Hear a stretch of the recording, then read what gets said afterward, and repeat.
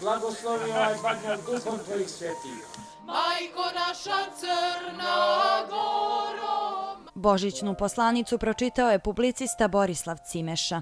Srpska pravoslavna crkva, inicijator, organizator i rukovodila je i oktobarskom pobunom koja zamalo zemlju uvela u haos. Njenim akterima se danas sudi, a Beogradska patrijaršija optuženim licima za pokušaj organizovanja oružane pobune daje garancije i njeguje ih i hrani u Ostroškome manastiru.